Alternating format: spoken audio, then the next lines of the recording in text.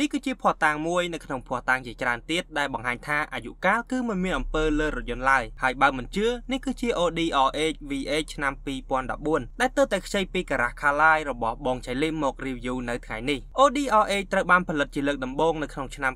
2006ជាដៃគូប្រកួតរបស់ Jaguar S-Type Porsche 911 និង Aston Martin Vintage ជាមួយនឹងរូបរាង timeless design ក៏ដូចជាការប្រើប្រាស់នៅចង្កៀង Full LED ដំបូងគេបង្អស់លើលោកលាក់នឹងលាក់ខ្ញុំគិតថាវាស្អាតជាងគេហើយបើធៀបសម្រស់ជាមួយនឹងមិត្តរួមចំនួនរបស់វានាពេលនោះត្រឡប់ទៅកាន់កាលពីជិត20ឆ្នាំមុនវិញក្នុងឆ្នាំ2004ដោយសារតែ Lamborghini ត្រូវបានលក់ទៅឲ្យ Audi ដែលវាមានន័យថា Audi មិននៅសល់លុយទុកសម្រាប់អភិវឌ្ឍនៅរថយន្តស្ពណ៌របស់ខ្លួននោះទេតែអ្វីដែល Audi មាននោះគឺគំនិតដែលឆ្លាតជាងប៉ាប៉ាគឺ Audi បានយក technology ក៏ដូចជាគ្រឿងបង្គុំសំខាន់សំខាន់ដែលទុកសម្រាប់ផលិត Lamborghini មកផលិត Audi RH ដែលជារថយន្តស្ពណ៌ម៉ាស៊ីនកណ្ដាលដំបូងគេបង្អស់របស់ Audi ព្រោះថាការ develop នៅ platform សម្រាប់រថយន្តស្ពណ៌មួយដោយចេញពី ground up នោះគឺមានតម្លៃថ្លៃខ្លាំងមែនទែន ដែលសរុបសេចក្តីមក Audi RH ក៏មិនខុសពីមនុស្សស្រីអញ្ចឹងដែរខណៈពេលដែលមនុស្សស្រីគឺជាកូនទន្សាយស្រោបពីលើស្បែកខ្លា Audi RH ប្រៀបបានដូចជា Lamborghini ដែលដណ្ដប់ស្បែក Audi អញ្ចឹងជាមួយនឹងតួ Audi Space Frame ដែលផលិតពី aluminium ពិសេសដែលស្រាលនិងរឹងមាំ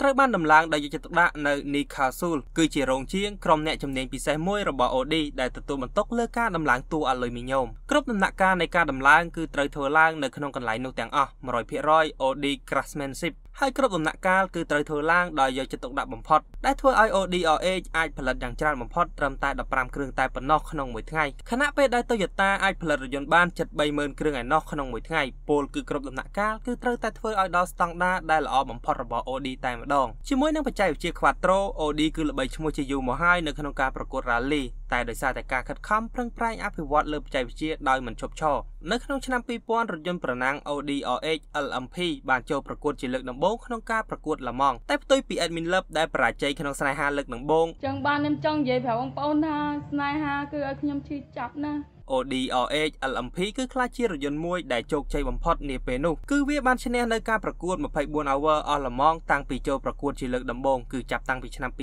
2001 2002 2004និង2005គឺឈ្នះ5ឆ្នាំក្នុងការប្រើប្រាស់សម្រាប់ប្រកួតរយៈពេល6ឆ្នាំចាញ់តែម្ដងនោះទេគឺឆ្នាំ2003នៅក្រោមស្នាដៃរបស់ Bentley Speed 8ដែលជាកូនរបស់ Volkswagen គ្រប់ដូចគ្នាដោយសារតែការជោគជ័យនេះហើយទើបបានជារថយន្តស្ពណ៌ម៉ាស៊ីនកណ្ដាលដំបូងគេបង្អស់របស់ Audi គឺត្រូវតែដាក់ឈ្មោះថា Audi RH រថយន្តស្ពណ៌ដែលបង្កប់នៅ DNA របស់រថយន្តប្រណាំងដ៏ជោគជ័យសម្រាប់ឲ្យ fan Audi បានសាកល្បងគ្រប់ detail ផ្នែកនីមួយៗដែលមាននៅលើតួរថយន្តរុនខ្យល់យ៉ាងធំនៅសងខាង side blade ដែលជា signature និង spoiler ដែលអាចបិទបើកបានគ្រប់ការ design ទាំងនេះគឺមិនត្រឹមតែសម្រាប់ធ្វើឲ្យសម្រស់រថយន្តកាន់តែទាក់ទាញនិងស្ពណ៌ជាងមុនតែប៉ុណ្ណោះនោះទេវាថែមទាំងផ្ដល់នូវគុណសម្បត្តិជាច្រើនដែលជំនួយទៅដល់ aerodynamic ក៏ដូចជាការបញ្ចុះកម្ដៅដល់ម៉ាស៊ីន V8 ដែលសំងំនៅខាងក្រោយអ្នកបើកបរផងដែរជាមួយនឹងទីតាំងម៉ាស៊ីន mid mount engine ដែលផ្ដល់នូវទីប្រជុំទម្ងន់យ៉ាងទាបបូកមកជាមួយនឹងការបែងចែកទម្ងន់44%ខាងមុខនិង56%នៅខាងក្រោយផ្ដល់នូវលំនឹងយ៉ាងល្អបំផុតសម្រាប់ម៉ាស៊ីន Audi RH គឺមានពីរជម្រើស V10 ដែលស្រដៀងគ្នាទៅនឹង Lamborghini Gallardo និង V8 ដែលដូចគ្នាទៅនឹង RH LMP ដែរត្បិតតែនៅក្នុងស្តុករបស់បងប្រុសខ្ញុំមានតែ V8 មែនតែខ្ញុំអាចនិយាយបានថាជម្រើសម៉ាស៊ីនទាំងពីរនេះគឺវាល្អទាំងពីរសម្រាប់ម៉ាស៊ីន V10 គឺវាមានទំហំ5.2លីត្រកម្លាំង525 horsepower តិចជាង Lamborghini Gallardo បន្តិចតែដោយសារតែមូលហេតុនេះហើយទើបវាធ្វើឲ្យម៉ាស៊ីន V10 របស់ RH ឈឺតិចជាង Lamborghini អញ្ចឹងប្រសិនបើយើងជា collector ដែលមានរថយន្តស្ពណ៌ច្រើនហើយនៅផ្ទះ Audi RH V10 គឺជាជម្រើសល្អបំផុតហើយវានឹងកាន់តែល្អជាងនេះទៅទៀតប្រសិនបើវាគឺជាប្រភេទឡានលេខដៃ ព្រោះថា Audi RH V10 លេខដៃនឹងក្លាយទៅជា Future Classic Car នាពេលអនាគតទិញទុកឡើងថ្លៃក៏ប៉ុន្តែប្រសិនបើយើងស្រឡាញ់ជាមួយនឹងរូបរាងក៏ដូចជាបច្ចេកវិទ្យារបស់ RH ដូច Iron Man ដែរអញ្ចឹងម៉ាស៊ីន V8 ចំណុះ4.2លីត្រ FFI Naturally Aspirate គឺជាជម្រើសល្អបំផុតម៉ាស៊ីន V8 ដែលផលិតពី aluminium មានទម្ងន់ស្រាលមានសប៉ាប់4ក្នុងស៊ីឡាំងនីមួយៗនិងបច្ចេកវិទ្យា FFI Direct Injection អភិវឌ្ឍសម្រាប់រថយន្តប្រណាំង24 hour ល្មងដែលអាចបង្កើននៅកម្លាំងខ្លាំងជាងមុនក៏ដូចជាធ្វើឲ្យស៊ីសាំងតិចជាងមុនរហូតដល់15%ដោយសារតែ FFI អាចលៃតម្រូវនៅកម្រិតល្បាយខ្យល់សាំងដែលបានចូលក្នុងម៉ាស៊ីនតាមលក្ខខណ្ឌដែលបានប្រើប្រាស់ធ្វើឲ្យម៉ាស៊ីន V8 មួយនេះមានកម្លាំង414 horsepower ក៏ប៉ុន្តែអ្វីដែលពិសេសសម្រាប់ Audi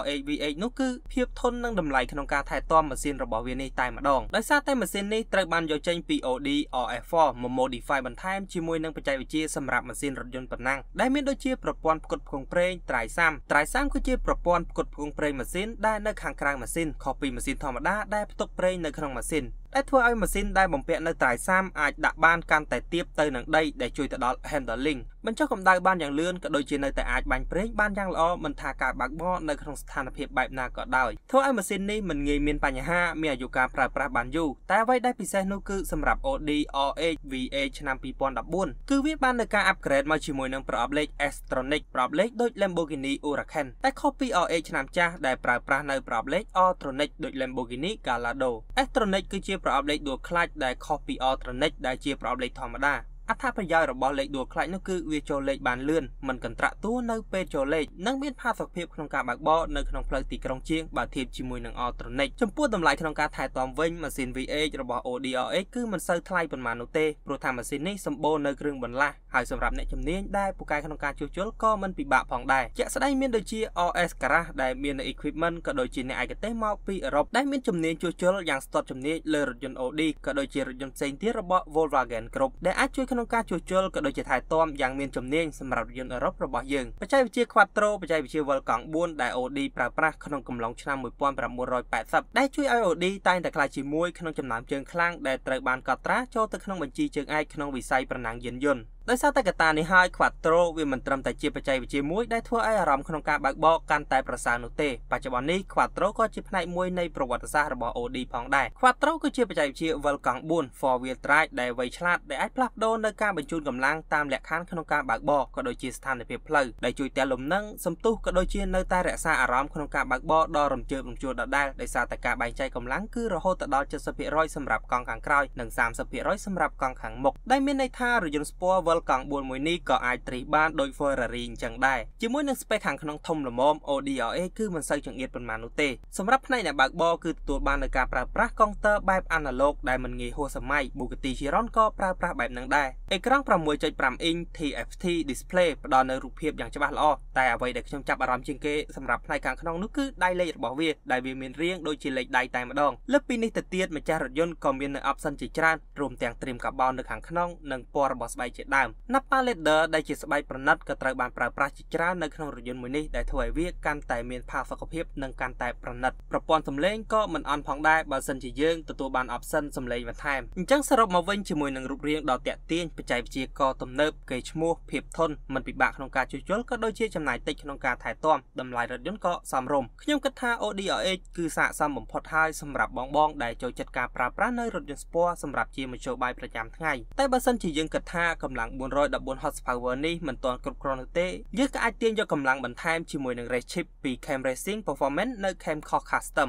race chip គឺជា chip tune លក្ខណៈ piggyback ដែលផលិតមកដោយ tuning company ដ៏ល្បីមួយរបស់អាល្លឺម៉ង់ដែលវាពិតជាស័ក្តិសមមែនទែនសម្រាប់ការ tune រថយន្ត high performance នៅក្នុងប្រទេសដែលមិនសូវសម្បូរ dyno ក៏ដូចជាអ្នកឯកទេស dyno tuning ដូចជាប្រទេសកម្ពុជាយើងហើយវាថែមទាំងជាការ tune ដ៏មានសុវត្ថិភាពមួយទៀតផងអញ្ចឹងបើសិនជាបងបងចង់បានរថយន្តមួយនេះយកមកប្រើប្រាស់ក៏អាចតាក់ទងបានជាមួយនឹងខ្ញុំ admin lab ដើម្បីជួយប្រឹក្សាក៏ដូចជាសាកសួរព័ត៌មានផ្សេងៗបានសូមអរគុណសូមជម្រាបលា